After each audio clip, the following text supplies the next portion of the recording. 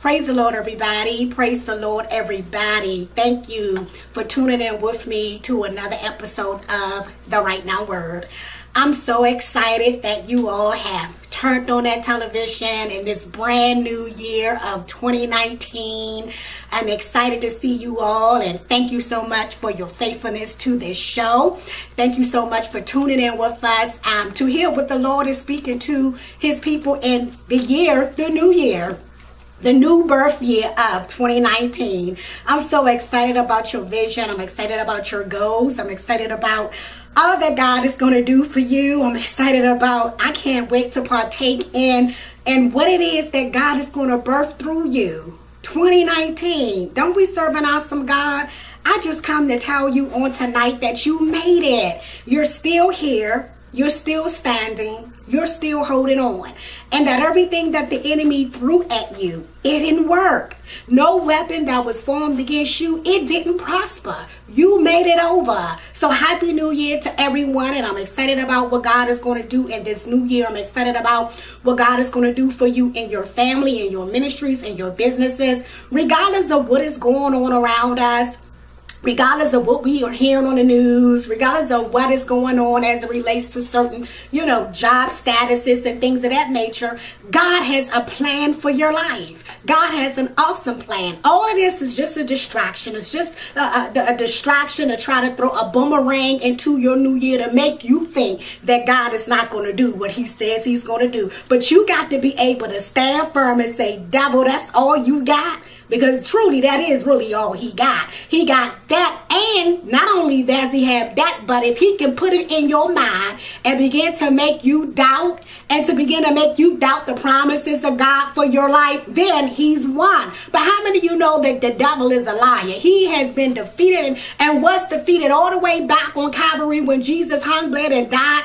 and rose again. Hallelujah. It was in the resurrection when he was defeated. Actually, in the resurrection when Jesus rose again and said, you thought you killed me. Hallelujah. But see, I'm still here. So you got to be able to tell the enemy and, and tell your circumstances and your situations that mm-mm, you thought that was going to take me out. But I'm still here. I'm still standing. A brand new year. It's all in your perspective. It's how you perceive is how you speak because the Bible says death and life is in the power of the tongue and they that eat the fruit thereof. So you got to be able to start this year, start this season and speaking that thing. Speaking those things that are that are not as if they were. You got to be able to speak those things, grab those things from the heavenlies and bring them to the earthly realm because the Bible says, whatsoever you shall bind Peter told, and it's going back to my book, I give you keys, the seven biblical principles that will unlock the doors to your success. Where Jesus told Peter, I give you keys to the kingdom of heaven, and whatsoever you bind on earth, guess what? I am going to bound it in heaven. Whatsoever you shall loose on earth, I am going to loose it in heaven for you, Peter, and not just for Peter, for all of us. See, God has uh, has great things in store for us. We just got to come to the realization and know that we know, that we know that we know, that we are who God says we are, and that we can have what God says that we can have. That matter of fact, we already have it. According to the word, He said, on earth as it is in heaven. So when you walk as if you're walking as if you walk in the earth as if you're in heaven, then that means that you've already shown God that I believe you. I believe that I already got it. I believe that I'm healed. I believe I'm delivered. I believe I'm set free. I believe that I'm wealthy. I believe that my children are saved. I believe you, God that I'm whole in every area of my life. And so that's what God wants us to walk in in 2019. God wants to walk in wholeness. So this book, I give you keys, seven biblical principles that will unlock the doors to your success. I want you to go get this book. I give you keys. Then I want to talk to you guys about another book that I wrote. It's called When a Prophet Cries, Something Happens. I want to talk about this in the context of forgiving, making this a new year to forgive, making this a new year to love. But not just this, this is not just all what this book is about either. This book also will enhance your understanding and give you the knowledge, give you the revelation of what it is that God has called you for in this earth. What is your purpose? So you would know what your purpose is. If it's not to be a prophet, it is to be God has ordained you to do something great in this world, for you to do something great in the earthly realm. So when a prophet cries, something happens. Amen. Then my book, Misguided Affections, that I wrote, I want you guys to go get this book as well because this book is going to teach you about relationships different types of relationships, whether that's with a man or a woman, whether that's with a business partner, whether that's a regular friendship, you know, different type talks about the different types of love. It talks about the agape love. It talks about all types of love and what they mean and what they are. But this book is going to teach you to help you realize what love, true love is. What is love? Amen. What is infatuation? Amen. What is possessiveness?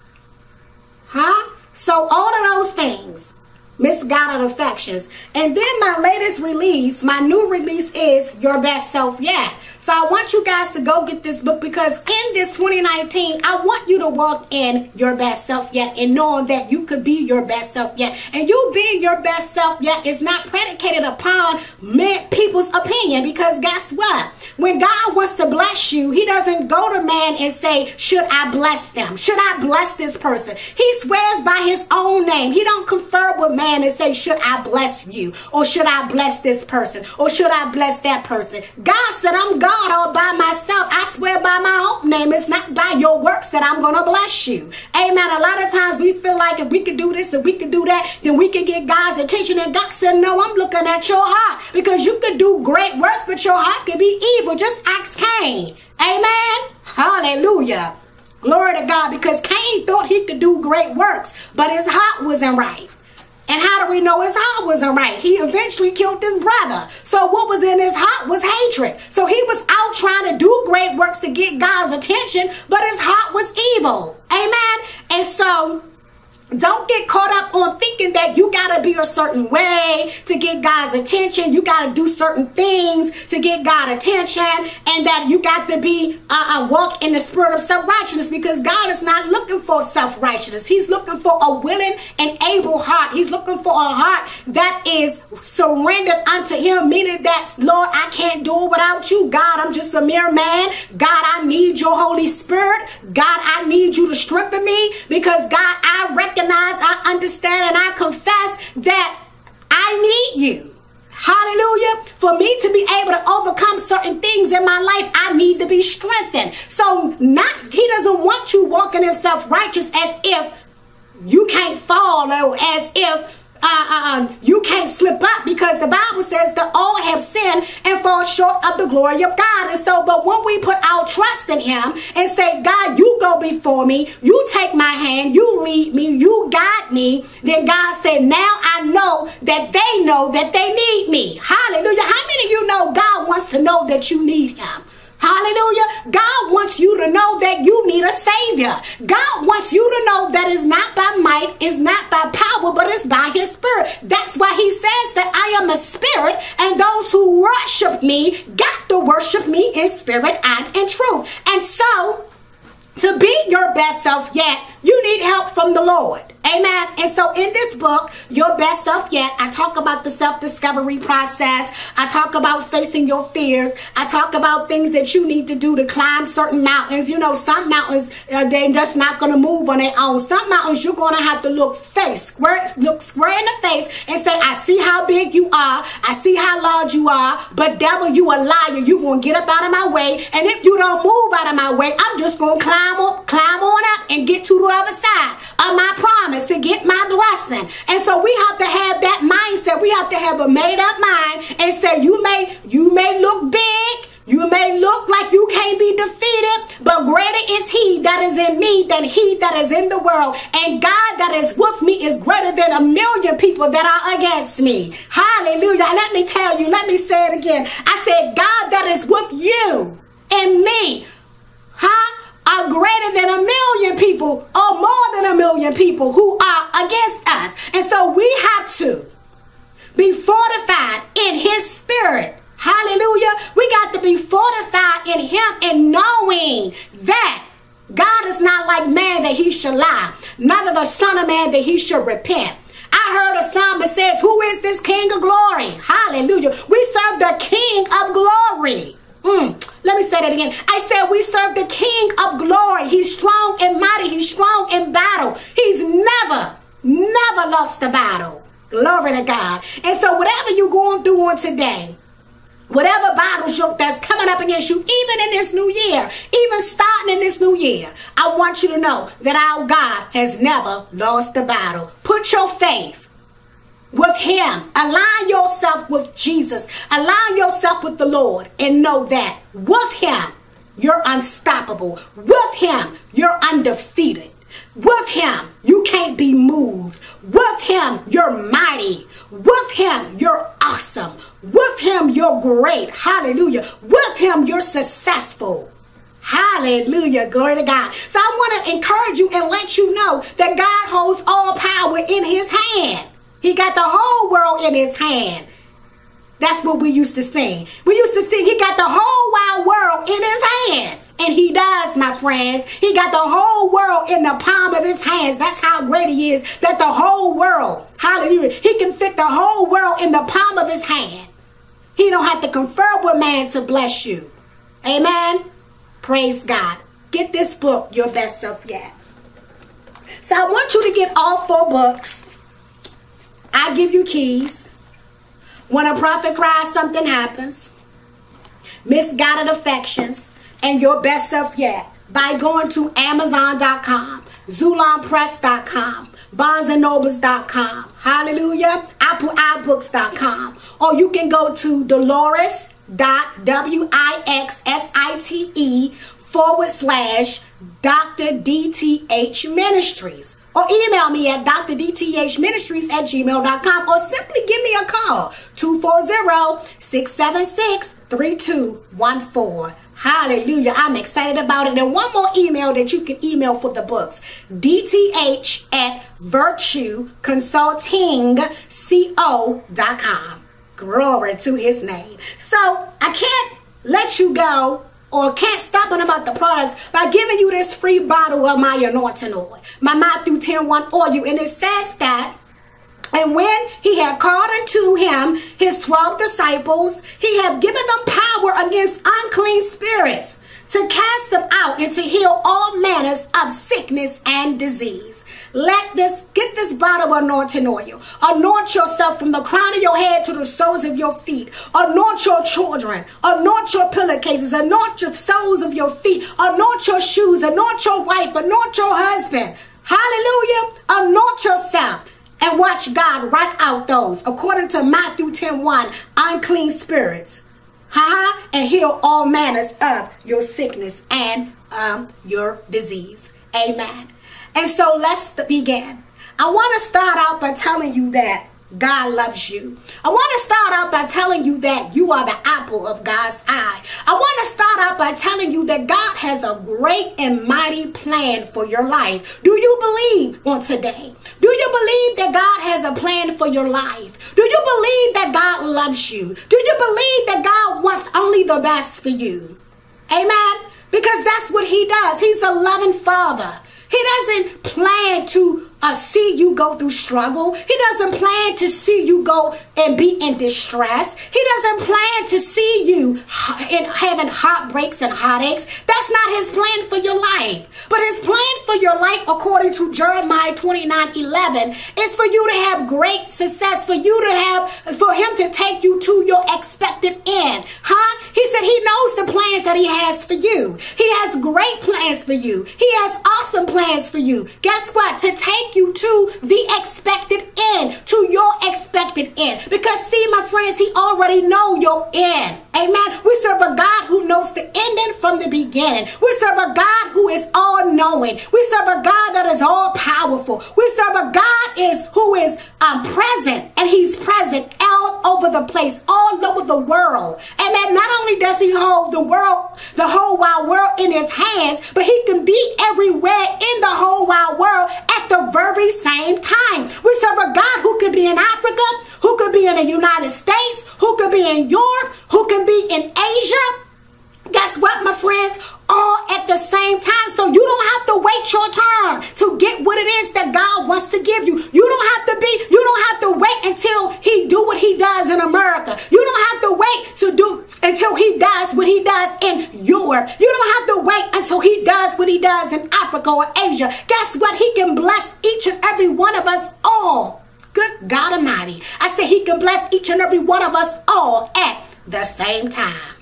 And in saying that, I just want you to know that the right now word for you on tonight is simply you are chosen. You are chosen to do great things. You are chosen to walk in abundance. You are chosen to be wealthy. You are chosen to succeed. You are chosen to excel. What do I mean by chosen? What is the definition of chosen?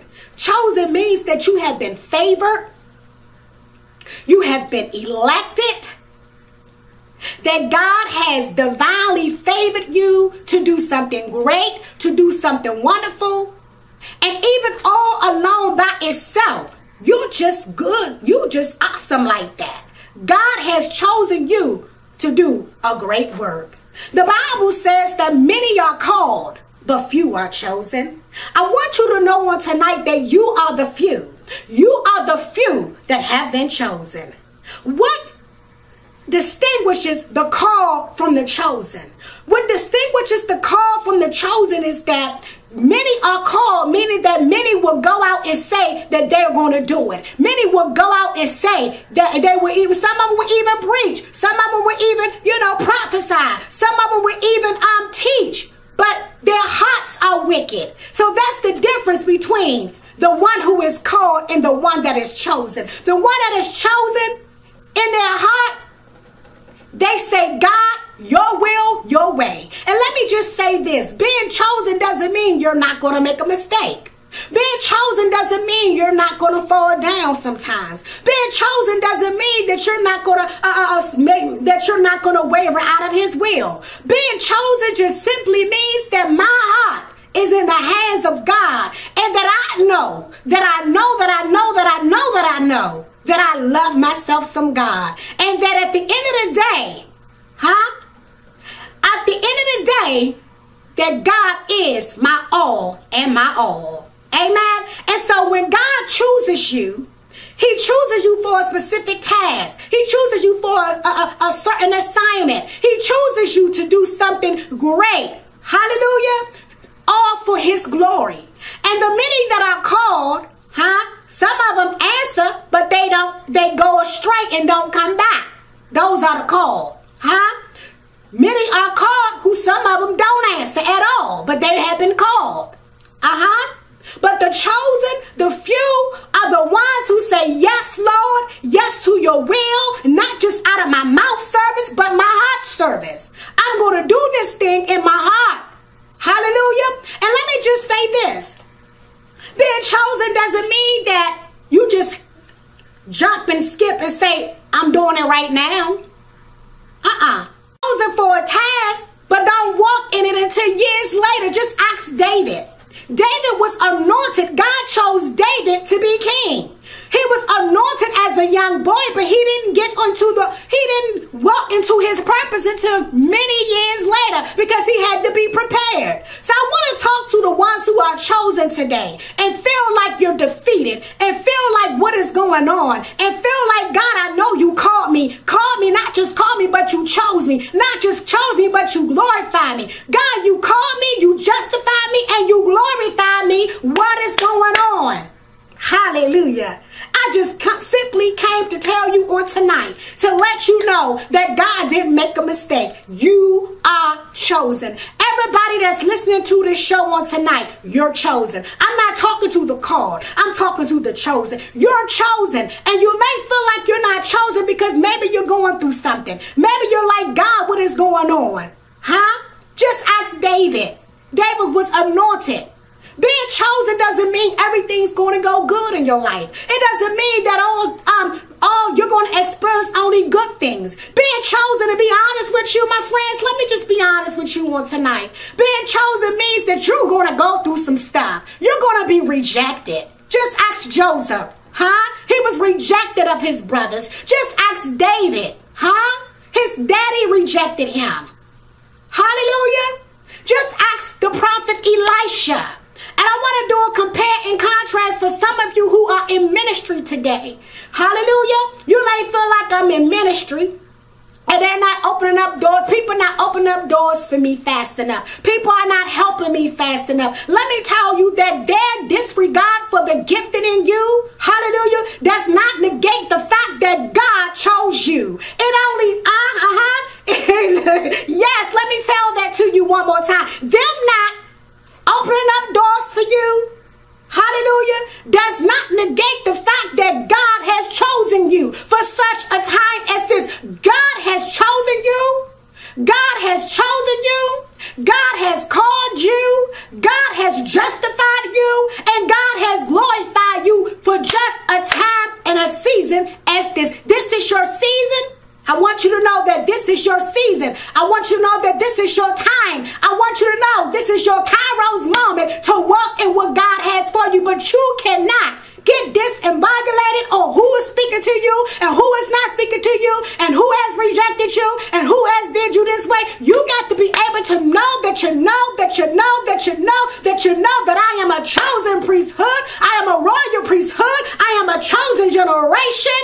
I am who God has said, who says I am. Men may not be able to see it, but I declare and I decree that I am a hero and I declare and I decree that I'm the lender and I'm not the borrower. That I declare and I decree that I'm on top and I am not at the bottom. Hallelujah. I come to tell you on tonight, my friends, and to let you know that you are chosen. I want to talk a little bit about the prophet Elisha and the sons of the prophet. You see, the sons of the prophet were the called. Amen. But the prophet Elisha, guess what? He was chosen. Huh? The difference is that the, the sons of the prophet, again, this is in the book of Kings. You can go and read it in the book of Kings. The sons of the prophets were in the school of the prophets. And they and, and they were studying and, and, and they were trying to learn the heart of God and, and, and, and through through studying and things of that nature. And then you had the prophet Elisha, who God chose through the prophet Elijah, uh-huh, to succeed the prophet Elijah. God told the prophet Elijah, I want you to go and anoint the Elisha, the son of Nun, in your stead. Meaning that he's going to succeed you one day. So I want you to go and anoint him, uh-huh, because I've chosen him. Uh-huh. I want you to go and anoint the one that I chose. Don't go to that school. Don't go to that school and, and, and anoint one of those that's been called, uh-huh. Just because they in school don't mean that they, they, they've been chosen by God, huh? Just because they got more degrees than you don't mean that God chose them, uh-huh. Just because they got more money than you don't mean that they've been chosen, uh-huh. Just because, just because they got men that's flocking to them don't mean God has chosen them. So he told the prophet Elijah, don't get caught up on the people that look like I've chosen them. I want you to follow my instructions, Elijah. And I want you to go and I want you to anoint the one that I chose, the one that I'm anointed, uh-huh, to take your place. Glory to God. And so let me tell you something. What you experiencing, my friends, those of you who, are, who have prophetic callings in your life, who are working in ministry, who are building businesses and you can't get help and you can't get support, those people are walking around with the spirit of the sons, the, the sons of the prophets. Huh? Uh-huh. Meaning that, and if you read the story, you will see, let me give you a little bit background. They were jealous of Elisha. They mocked Elisha. Uh-huh. They were jealous because they knew that Elisha was the chosen one. They mocked him because he served Elijah. They mocked him because he put poured water on his feet and water on his hands. But let me tell you something. They may be mocking you because you've been faithful. They may be mocking you because they're trying to figure out you've been in this thing for so many years and you still ain't get a breakthrough. They may be mocking you saying, where's your God? They may be mocking you saying, what is going on? Them, they praising the Lord and the children acting like the, the demons. They may be mocking you saying, uh, she, she or he following that leader. What is going on? I want you to know on tonight, God knows what he's doing that God has a plan and He's preparing you. And a lot of people don't understand it. It is not for them to understand, it's for you to know. Huh? That you are chosen and you are chosen to do great things. You're chosen to do marvelous things. You're chosen. And let me tell you something. At the end of the day, if you read that story, Elisha got his double portion. Elijah got what it was that he was supposed to have by being obedient to God, no matter how long it took. He was obedient to God all the way until he got all the way to the end. And the Bible says he did greater works than his master. He did greater works than his mentor. Glory to God. He did greater miracles.